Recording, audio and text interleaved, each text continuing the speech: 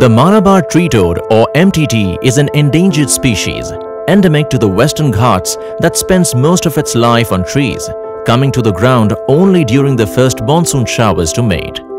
Due to their elusive nature, reliable information on their ecology, population and distribution is scarce. Preliminary research indicates that the species is under threat due to anthropogenic pressures on its habitat.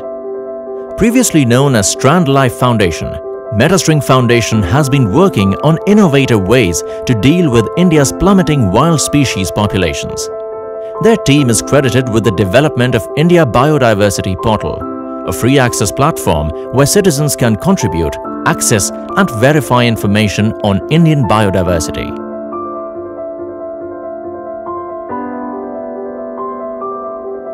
For the Habitats Trust grants, Metastring Foundation proposes to collect first-hand data on the Malabar tree toad by training and engaging citizen scientists.